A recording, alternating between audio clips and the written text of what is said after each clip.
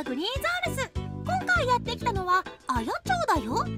木にぶら下がっているこの白い袋は何だろう。こんにちはザウルスくん。ここで育てているのはこれヒュウガナツだよ。わあ綺麗な黄色だね。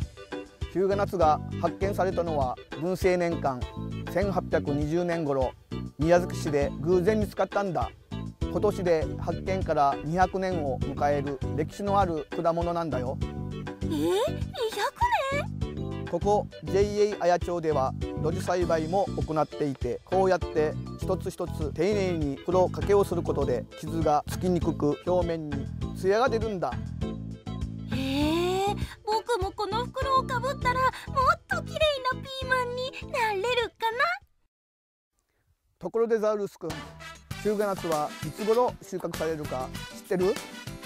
日向夏って名前だからやっぱり夏？実は日向夏は冬から春にかけて収穫されるんだよ。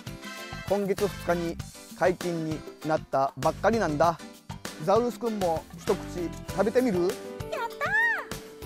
た外の黄色い皮をむいて白い皮を残したまま白皮と果肉を一緒に食べることで爽やかな香りとともに白皮の甘みと果肉の酸味を楽しめるんだ。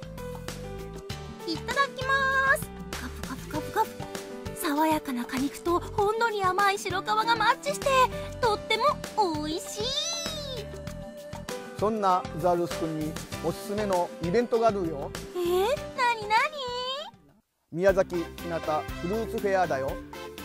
このフェアは旬を迎えた日向フルーツの日向夏と完熟金柑たまたまを使ったオリジナルメニューを県内の飲食店で食べることができるんだ。これはぜひ行きたいフェアだね。宮崎の美味しい日向夏皆さんも食べてくださいね。食べてね